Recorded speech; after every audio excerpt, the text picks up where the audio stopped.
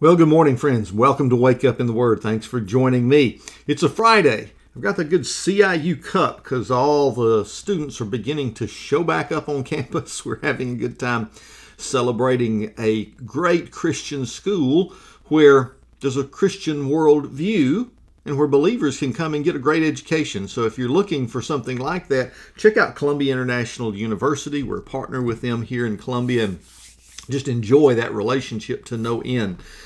There's another relationship that we're talking about here in 1 Corinthians 11. Yesterday we looked at the observance of the Lord's Supper, something that Paul said was being abused by the Corinthian church.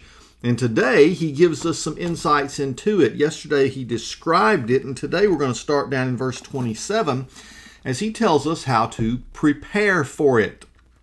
He says, So then, Whoever eats the bread or drinks the cup of the Lord in an unworthy manner will be guilty of sin against the body and blood of the Lord. Well, here's a warning, a dire warning, it sounds like, one that we should all heed. Now, be careful how you heed it. I actually knew someone in the past who said, I'm not going to ever receive the Lord's Supper. When it was time for the observance, for the ordinance in church, they would refuse it, would not partake. The same action that an unbeliever would take or should take when they are in church, maybe as a guest, and say, Well, you know, I, I haven't, I'm not saved yet. I, I haven't made a commitment to Christ. So it would not make sense for an unbeliever to partake of communion. I've known of some believers who have said, I won't do it. Why? And they would cite this verse. I'm just, I'm unworthy. I, I can't. Well, none of us are worthy of the perfection and the holiness of the Lord, but yet that's what we're supposed to be seeking. And as a part of that, do you not realize we have a command? A command to observe this ordinance, the Lord's Supper. Some you, some of you call that communion, uh, until Jesus comes. So it's not about, oh, I can't do it. If that's the case, then we shouldn't be observing it at all. So it's a bit of a contradiction in terms to say, no, no, no, I, I can never receive communion because I'm unworthy. Folks, listen, we are all unworthy in that manner. But that's not what Paul's talking about here. In fact, he's been discussing exactly why the Corinthians were abusing the Lord's Supper, and we'll get to some of that here in just a minute. The point is not to refuse the Lord's Supper, but it's to take it the right way. So he goes on to the next verse, verse 28. Let a person examine himself. In this way, let him eat the bread and drink from the cup. For whoever eats and drinks without recognizing the body eats and drinks judgment on himself. This is why many are sick and ill among you, and many have fallen asleep. Falling asleep is that analogy used quite often in the New Testament to refer to death. So he said, if we were properly judging ourselves, we would not be judged. But when we are judged by the Lord, we are disciplined so that we may not be condemned with the world. Therefore, my brothers and sisters, when you come together to eat, welcome one another. If anyone is hungry, he should eat at home, so that when you gather together, you will not come under judgment. I will give instructions about the other matters whenever I come. Now let's back up on this and see exactly what we need to do when it comes to observing the Lord's Supper. In an article that's found in, for many of you who've had a classic in uh, in Christian history, you've carried one of these, the Christian Life New Testament. I bet some of you still have one of these in your pocket. It was great in that it contained outlines that could basically disciple someone in the truths of Christianity, and they were lined up in, in the Bible so that folks could very simply begin to grow in their faith by just reading those from the New Testament and chasing all the scriptural references. One of those is about the judgments. And listed among the judgments is the judgment that believers need to put on themselves self judgment every time that we receive the Lord's Supper. The purpose of that, that self examination, is so that we can see how our hearts are in relation to our Lord. That we're not bringing unconfessed sin to the Lord's table and other, other issues. What are, what are some of those issues? Listen to one commentator as he describes what Paul's trying to get across to us today.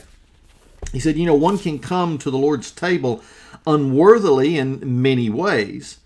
It's common for people to participate in it ritualistically without participating with their minds and hearts. They can go through the motions without going through any emotions and treat it lightly rather than seriously. So, the attitude of flippancy when coming to the Lord's table is a way to be unworthily taking the Lord's Supper. He goes on to say that they can believe it imparts grace or merit, and that the ceremony itself, rather than the sacrifice it represents, can save or keep one saved. In fact, this is something that happens in many denom not many, but a few denominations where they believe there's some kind of magical grace imparted by you actually going through the ritual.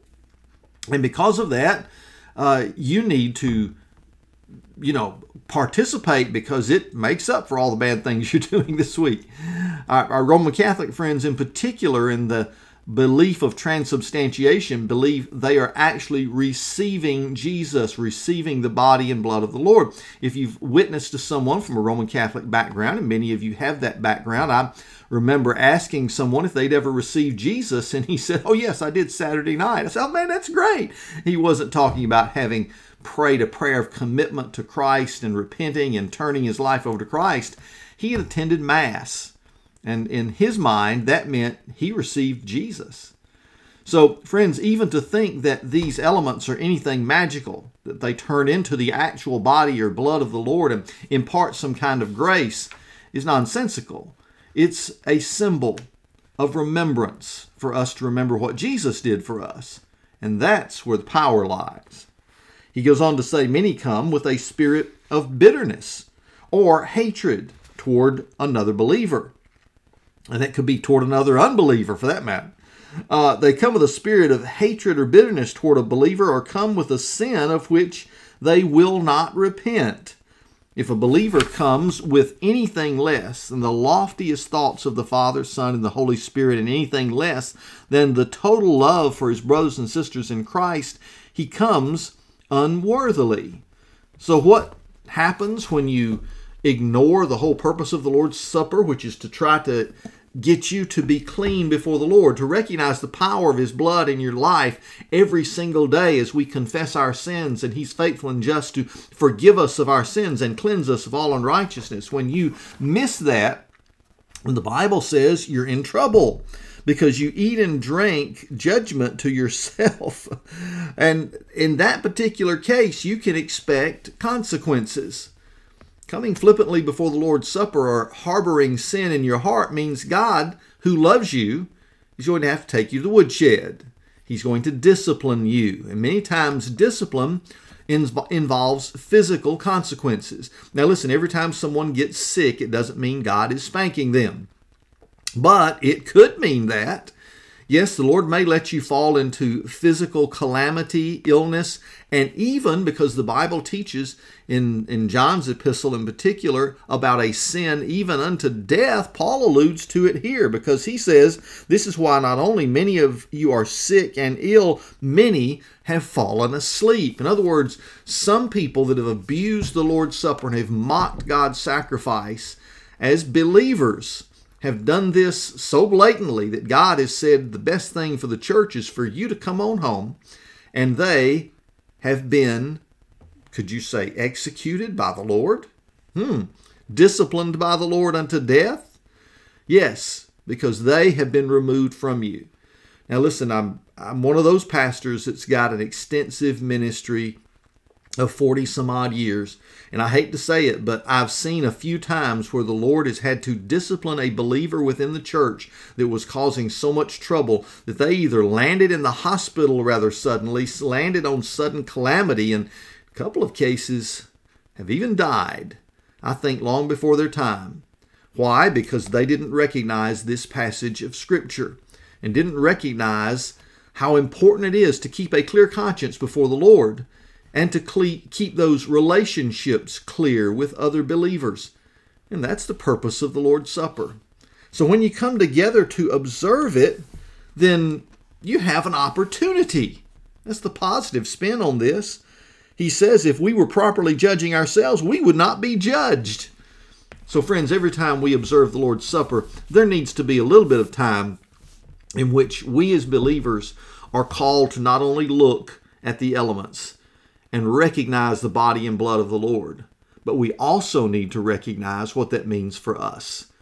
That's why quite often I give an invitation before we observe the Lord's Supper, not after. That we give an invitation to say, hey, it's time to prepare your hearts and your minds. Is there anything you need to do to get right to observe the Lord's Supper? Some of those powerful times of its observance I can remember from just this kind of demonstration of God's grace. I can remember being in camp one time with a group of young people who were getting fired up for the Lord.